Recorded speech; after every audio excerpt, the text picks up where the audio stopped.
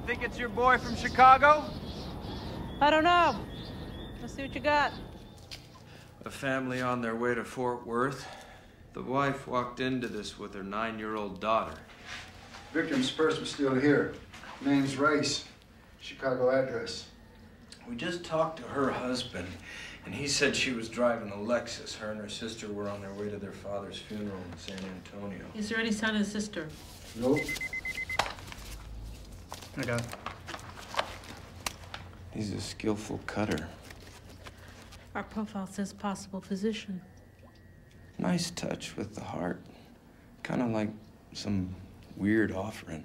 So, how many does this make? Nine confirmed. First one showed up in Chicago. For five more. We've had nothing for two years. Any leads? Well, we had three possibles to fit the profile back then. One's in lockup, one's dead. The other is Dr. Alan Robert Defoe, a psychiatrist. He disappeared from Chicago about a week ago. How'd you profile him? His name popped up when we were pulling covers on juvenile arrest sheets. Animal mutilation.